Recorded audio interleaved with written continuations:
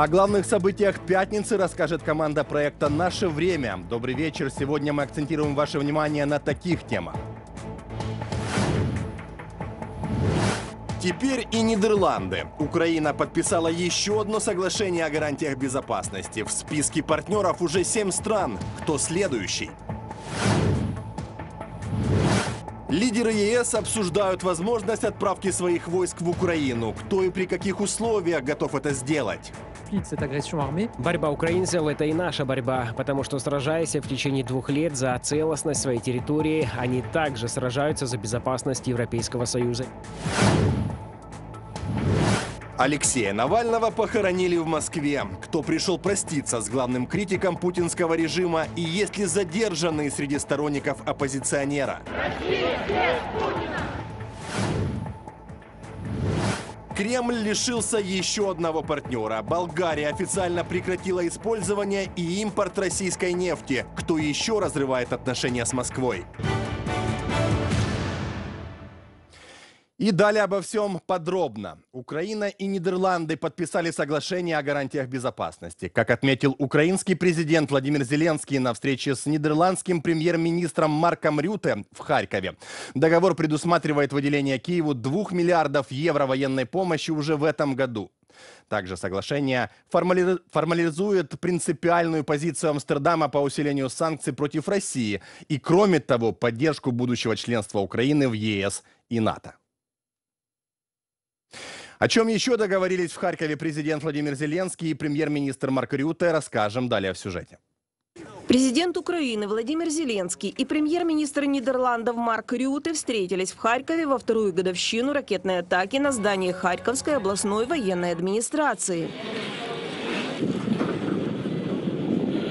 Тогда погибли 44 человека, еще 15 были ранены. Террор не знает границ, и его необходимо остановить, заявил глава украинского государства. Такие города, как Харьков, нуждаются в защите и ее усилении. Поэтому символично, что договор о безопасности между Украиной и Нидерландами подписали именно в Харькове. Все сферы. Все сферы. Оборонное сотрудничество на земле, в небе, на море, сотрудничество технологическое, политическое, экономическое. Нидерланды уже оказывают нам весомую поддержку для защиты неба и в укреплении нашего ПВО, и в приближении того момента, когда в украинском небе появится первый украинский F-16 от наших партнеров. И мы должны сделать еще больше. Все партнеры партнеры вместе, чтобы дать надежную защиту нашим общинам и таким городам, как Харьков. В частности, в соглашении о безопасности идет речь о том, что Нидерланды предоставят Украине в 2024 году 2 миллиарда евро военной помощи, а также будут оказывать оборонную помощь в течение следующих 10 лет – Рюте в Харькове также раскрыл содержимое пакета помощи Киеву. Уже выделены средства на покупку боеприпасов для Украины. Они закупили большую партию патрульных и боевых катеров для полиции и пограничников. Мы стоим рядом с Украиной плечом к плечу, и здесь и сейчас мы продолжим оказывать прямую военную, финансовую и гуманитарную поддержку. И мы продолжим искать другие способы, каким образом мы можем помочь. Например, некоторые недавние закупки мы передадим 22 патрульные лодки для Госпогранслужбы Украины и для полиции, а также три боевые лодки. Мы закупили четыре радара и девять гаубиц, которые мы предоставим к тому, что уже предоставили. Нидерланды помогут чешской инициативе закупить 800 тысяч боеприпасов. Это произойдет в ближайшие недели. Я сейчас уже могу сказать, что мы выделим еще 250 миллионов евро на помощь. И я уверен, что коллеги по НАТО присоединятся ко мне в этом процессе. Появление истребителей F-16 в Украине на контроле у Нидерландов. Они сделают все возможное, чтобы ускорить этот процесс, пообещал Марк Рюте. По поводу F-16 мы идем по графику. Это означает, что позже в этом году они будут в украинском небе. Но еще много нужно сделать, и одна из вещей, которую мы согласовали сегодня, это ускорение этого процесса. В том смысле, что нам надо убедиться в отсутствии преград, которые могут вызвать задержки. Владимир Зеленский и Марк Рюте также посетили один из самых пострадавших после российских обстрелов районов Харькова и почтили память детей, погибших из-за агрессии России. А еще побывали в метро-школе, где учатся почти тысяча маленьких украинцев. Для Марка Рюты это первый визит в Харьков. Он назвал его символичным, поскольку именно отсюда в Нидерланды отправляли тела погибших в катастрофе рейса MH17 в 2014 году. На брифинге с Владимиром Зеленским нидерландский премьер подчеркнул, что остановить российский террор – это общий долг. Кроме Нидерландов, соглашение по безопасности с Украиной подписали еще шесть стран. Гарантии также предоставили Великобритания, Германия, Франция, Дания, Италия и Канада. Как отметил президент Владимир Зеленский, каждый такой договор дает Украине большие возможности и укрепляет основанный на правилах международный порядок. Чем больше союзники будут взаимодействовать между собой, тем скорее российские террористы проиграют, подчеркнул украинский лидер.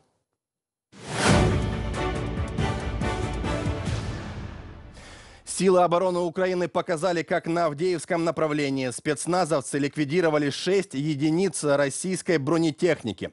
Подробнее о том, что сейчас происходит на передовой, расскажем далее в сводке Генерального штаба ВСУ. Силы обороны Украины удерживают плацдарм на левобережье Днепра в Херсонской области. Россияне безуспешно штурмуют возле Крынок, не меняя тактики, отмечают силы обороны юга Украины. В нашей зоне ответственности россияне ограничиваются мясными штурмами. Однако мы отслеживаем их активность, и создание дополнительных ударных группировок не фиксировалось. Наталья Гуменюк, руководитель Объединенного координационного пресс-центра Сил обороны Юга Украины. В эфире марафона «Єдині новини». Россияне не прекращают и мясные авиационные атаки, но у Украины есть средства, чтобы уничтожать самолеты захватчиков на большом расстоянии, говорят в воздушных силах ВСУ. Россияне никак не могут понять, что их здесь не ждут, что будут они все чаще попадать в зону поражения нашей противовоздушной обороны, поскольку есть у нас уже сегодня средства, которые могут их доставать. И эти средства есть и на севере, и на юге, и на востоке нашей страны. Поэтому российские летчики уже чувствуют, что они под прицелом. И это очень хорошо хорошо. Юрий Игнат, спикер командования воздушных сил ВСУ в эфире марафона «Єдині новини». На Лиманском направлении украинские войска успешно отразили атаки россиян в районе Белогоровки Луганской области. Противник также совершал наступательные действия в районах Богдановки, Андреевки, Тоненького и Первомайского Донецкой области. Силы обороны отразили все атаки, сообщает в вечерней сводке Генштаб Вооруженных сил Украины. Напряженная ситуация вблизи Часового Яра на Бахмутском направлении, но ВСУ стойко держит оборону.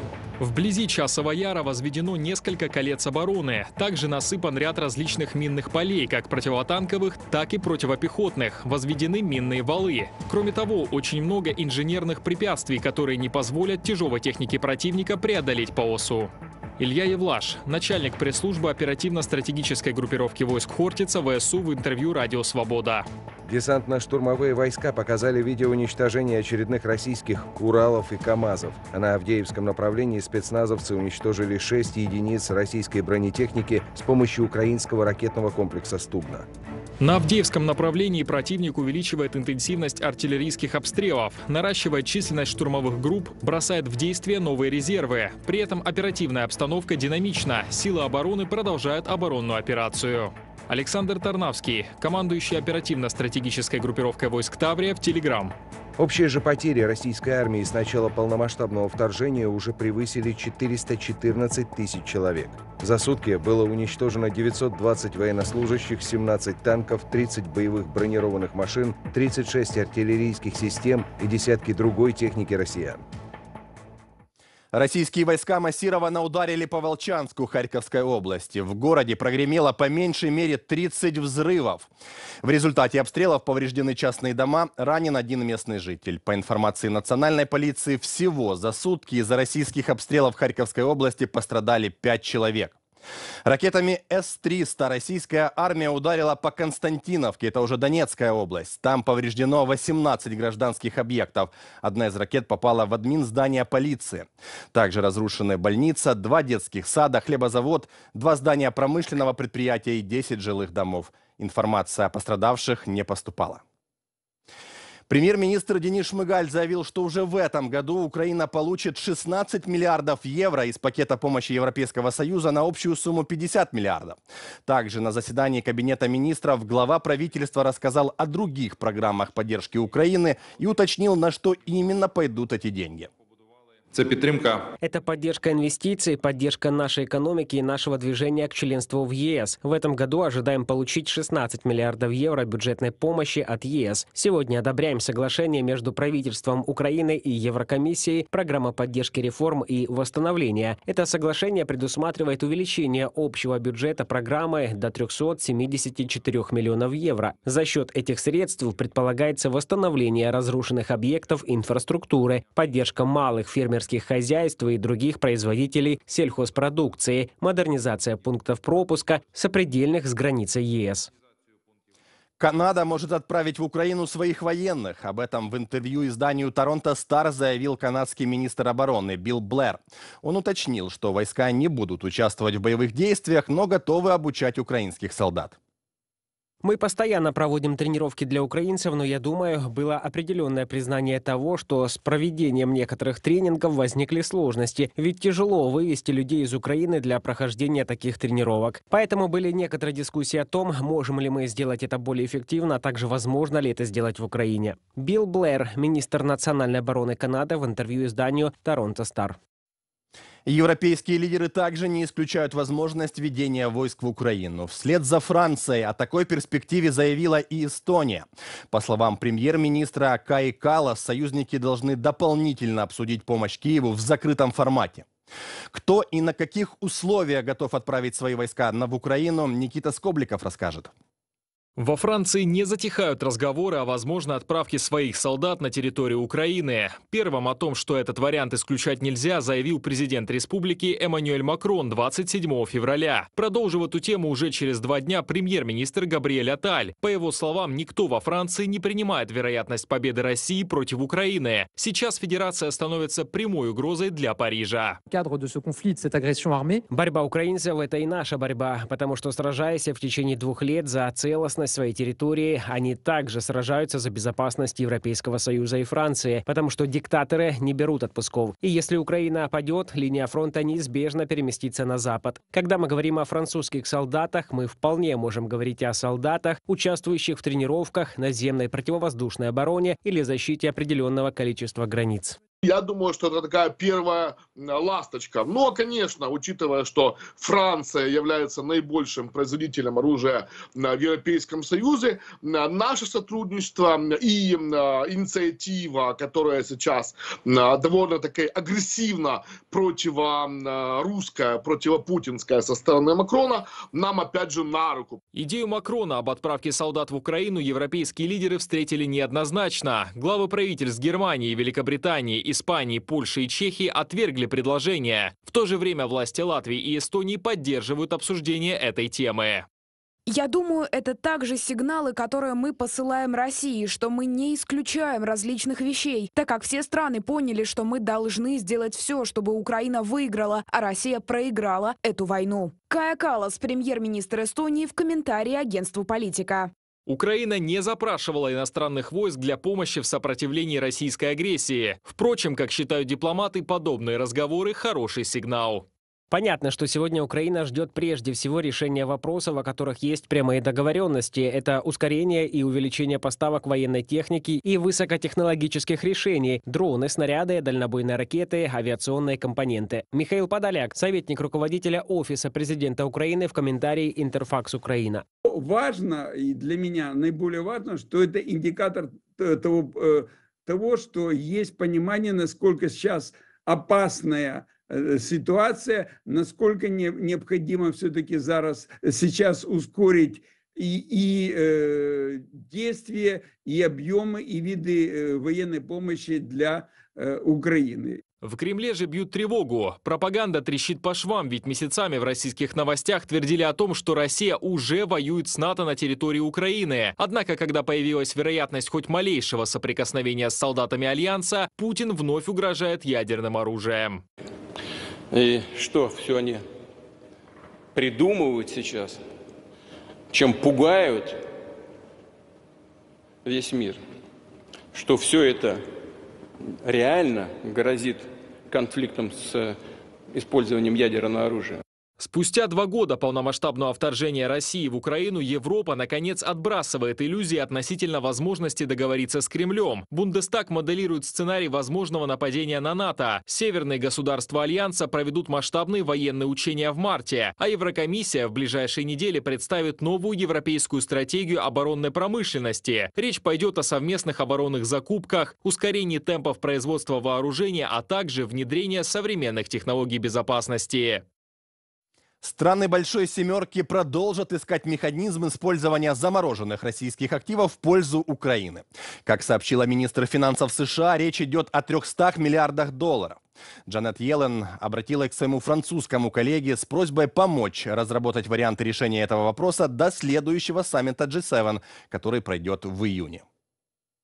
Здесь есть сложные юридические вопросы. Мы согласны с тем, что все, что мы делаем, должно иметь твердое международное правовое обоснование. Мы будем продолжать работать. Сотрудники Министерства финансов Франции работают с нашими сотрудниками. Мы призвали министра помочь нам найти варианты, которые мы сможем представить лидерам Большой Семерки.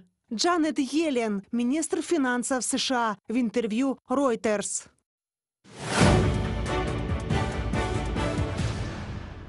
Алексея Навального похоронили в Москве. Проститься с российским оппозиционером пришли более тысячи человек. Однако в храм, где состоялась панихида, полиция допустила только родственников и близких политика. Остальные выстроились в двухкилометровую очередь до Борисовского кладбища. Люди провожали Навального, скандируя его фамилию. По данным российских СМИ, силовики задержали не меньше 50 человек. Напомню, о смерти Алексея Навального в колонии стало известно 16 февраля. Тело погибшего политика передали матери только через неделю. В медицинском заключении указано о якобы естественной причине смерти. Но сторонники оппозиционера уверены, что его убили. Вдова Навального Юлия пообещала продолжить дело мужа. Он был очень такой, понимаете, настоящий человек. И в политике такие люди, большая ценность. Поэтому утрата огромнейшая. Но мы не отчаиваемся. Потому что видите, как нас много. Поэтому Россия будет свободной. Россия без Путина! Россия без Путина! Россия без Путина! Россия! Напомню, что Европарламент принял резолюцию, в которой прямо обвинил Путина в смерти Алексея Навального. Документ поддержало абсолютное большинство депутатов – 506. Также парламентарии требуют независимого международного расследования гибели российского политика. Убрать Россию из ООН. Таков лозунг акции в Грузии. Активисты развернули на мосту мира в Тбилиси плакат, на котором перечислили преступления РФ за последние 30 лет. Таким образом, активисты напомнили, что Россия незаконно занимает место СССР в ООН. На баннере есть QR-код, который ведет на соответствующую петицию. Она уже набрала почти 400 тысяч подписей. Добавлю, что в уставе ООН указано, что Советский Союз до сих пор существует, а Россия вообще не упоминается. Россию снова атаковали дроны. На этот раз под удар неизвестных беспилотников попал военный завод в Сдержинске Нижегородской области, сообщают Россми. Местные паблики написали о звуках взрывов и ярких вспышках. Атаку подтвердил и мэр города. Сообщил, что якобы разрушений и пострадавших нет. По данным Радио Свобода, военный завод имени Свердлова является градообразующим предприятием Дзержинска. На нем производят взрывчатку и оборонную продукцию. Предприятие находится в санкционных списках ЕС, Великобритании, Великобритании, США, Канады и ряда других стран.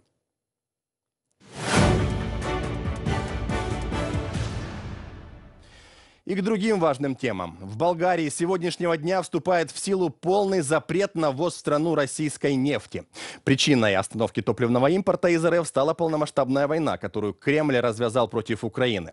Болгарские депутаты долго не могли прийти к единому мнению по этому вопросу, но уже в начале 2024 был принят закон, который предполагает замену российской нефти на аналоги из Казахстана, Ирака и Туниса.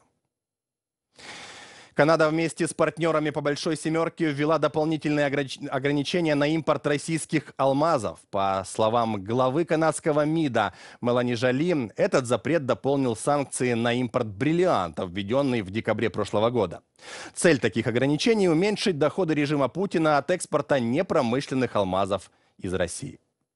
Канада продолжит работать с другими странами Большой Семерки и международными партнерами над внедрением комплексного контроля, который запретит российским алмазам поступать на рынки Семерки. Это даст канадским потребителям дополнительную уверенность в том, что приобретаемые ими алмазы поддерживают незаконную войну России против Украины. Мелани Жали, министр иностранных дел Канады.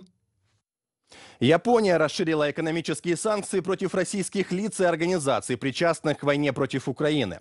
Под ограничения попали 12 физических и 36 юридических лиц, в том числе Тинькофф Банк, японские активы которого будут заморожены в конце марта. Санкционный список также пополнили концерны «Калашников», «Алмаз Антей», «Уралвагонзавод» и «Атомфлот». Напомню, ранее, ко второй годовщине полномасштабной войны России против Украины санкции расширили США, ЕС, Великобритания, Канада, Австралия и Новая Зеландия.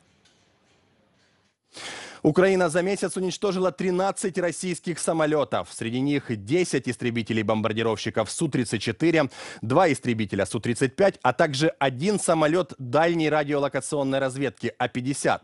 Таких, кстати, за время полномасштабной агрессии России уже потеряла армия уже два. Благодаря чему начался активный самолетопад э, захватчиков в материале Юлии Грановской. В то время как Россия активно наращивает присутствие своей авиации на востоке Украины, украинская армия успешно уничтожает самолеты противника. Речь идет о Су-34. Противник нарастил авиационное присутствие на восточном направлении, соответственно, было реагирование высшего военного руководства. И воздушные силы делают то, что вы видите. Сбивают их достаточно далеко, не будем говорить точное расстояние. Российские пилоты уже не так наглеют, не так подлетают близко. Им, чтобы бомба подлетела дальше, нужно подлететь ближе, потому что бомба планирует. Она же не имеет двигателя своего, она планирует и летит, снижая, теряя скорость. Поэтому пилотам, чтобы бить дальше, нужно рисковать. Рискуя, они попадают в такие истории, как сегодняшнее сбитие Су-34. Юрий Игнат, спикер командования воздушных сил ВСУ, в эфире марафона «Єдині новини». Восточное направление фронта в последний месяц зимы превратилось в кладбище российских самолетов. Так, 29 февраля вооруженные силы Украины уничтожили российский истребитель Су-34. Он стал уже 11-м бортом, которого лишились оккупанты, начиная с 17 февраля. Именно в этот день было сбито три российских самолета, два истребителя-бомбардировщика Су-34 и истребитель Су-35. 27 и 26 февраля стало известно об уничтожении еще двух Су-34. 4 а 23 февраля над Азовским морем был сбит самолет-разведчик А-50. 29 февраля – дата, которая выпадает раз в 4 года, но уже привычный для россиян день с потерей очередного самолета. Минус 134 на восточном направлении. Спасибо за работу. Николай Алищук, командующий воздушными силами Украины в Телеграм. Профессиональная подготовка украинских военных из подразделений ПВО, дополнительные технические средства от Запада сделали возможным эффективное уничтожение авиации противника, подчеркнул президент Украины Владимир Зеленский. Что стосуется что касается А-50 и других самолетов противника, это результат в любом случае нашего союза Украины и партнеров. Украине было бы очень сложно без союза с партнерами, а на некоторых направлениях и невозможно защищать свое государство. Если этот самолет работает над временно оккупированной территорией Украины, применяем оружие от международных партнеров, а если на других направлениях, то применяем украинское оружие. Стоит отметить, что стоимость бомбардировщика Су-34 доходит до 50 миллионов долларов, тогда как цена А-50 – 330 миллионов долларов, а модернизированные версии гораздо дороже. Исходя из сведений, в открытых источниках Россия изготовила более 140 самолетов Су-34. Первую сотню выпустили к 2016 году. После начала полномасштабной войны в Украине по меньшей мере 38 бомбардировщиков были сбиты украинской ПВО. Александр Ступ, бывший премьер-министр Финляндии, принял присягу на посту президента страны. Он стал 13-м главой государства. Обращаясь к парламенту, Ступ предупредил, что вторжение России в Украину ознаменовало новую опасную эру раскола. И отметил, что Финляндии придется столкнуться с проблемами и неопределенностью. Но при этом призвал не впадать в панику. Чтобы обеспечить мир и безопасность страны, новый президент пообещал принимать сложные решения. Сейчас мы стоим перед новой эрой. В результате нашего военного союза и членства в НАТО мы сделали последний шаг в западное сообщество ценностей, которому наша республика духовно принадлежала на протяжении всей своей независимости. США и Южная Корея присоединились к многонациональным военным учениям в Таиланде. ВМС и морская пехота отрабатывали операцию по штурму и удержанию условного плацдарма. Это была часть серии маневров под названием «Золото Кобры». В учениях также были задействованы войска из Японии, Малайзии, Сингапура и Индонезии. Партнерство очень прочное. Было семь стран-участниц на постоянной основе, три участника с ограниченным участием, но в общей сложности у нас есть 30 стран, которые приехали сюда на Кобра Голд. Это крупнейшее оборонное учение в Азии, это самое продолжительное оборонное учение во всем мире.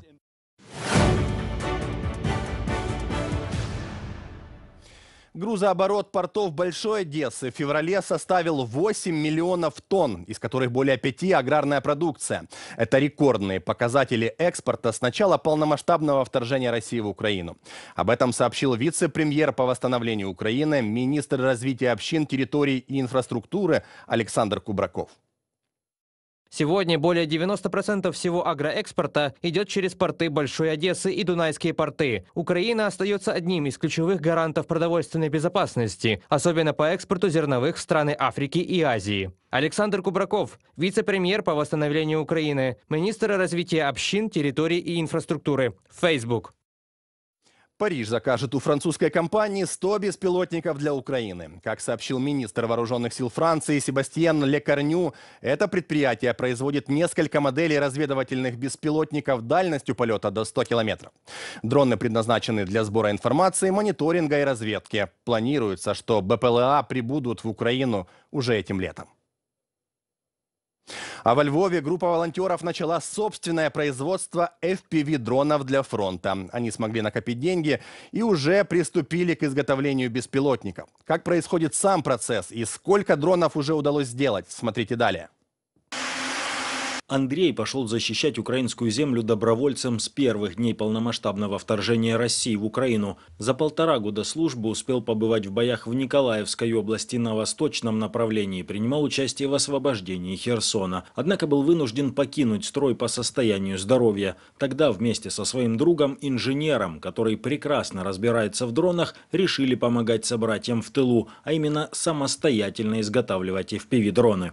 Мы працюємо, грубо кажучи. Мы работаем, грубо говоря, на определенное подразделение. Они нам дают характеристики, которые им нужны, и мы уже комплектуем дрон по этим характеристикам. Не так много производителей в Украине, чтобы полностью обеспечить FPV дронами, поэтому лучше их производить, а не где-то покупать и ждать по два месяца, пока они придут. Но когда ты отдаешь ребятам вот такую готовую штуковину, и он с помощью нее там уничтожает что угодно, то это такое чувство, что я не могу вам передать, честно. Когда он выходит, звонит тебе и говорит «я подстрелил танк», я говорю «лучший», тогда твоя работа имеет смысл. Запчасти волонтеры заказывают из-за границы, однако и здесь возникали проблемы. Ведь не всегда в наличии есть все необходимые составляющие для дрона. Некоторых запчастей на тот момент не было. Мы искали заменители, ждали, пока появятся. Надо каждый день мониторить, каждый час, поскольку если там даже нет маленькой запчасти, контроллера или камеры, дрон работать не будет и не будет полноценным. Все запчасти мы прописывали с военными, которым мы будем отправлять наши птички. Ребята также учатся летать на дронах благодаря специальным манипуляторам, чтобы сразу на месте испытывать дроны и в случае необходимости улучшать их. Ми від А до Я робимо. Мы от А до Я делаем. Сложили дрон, прошили дрон, протестировали, ничего ли не нужно. После теста проверили крепление, ничего ли не открутилось. И отправляем ребятам готовое, чтобы они, грубо говоря, перед работой подключили, попробовали, как летает, и уже могли смело его зарядить, ехать на позиции и хорошо поработать.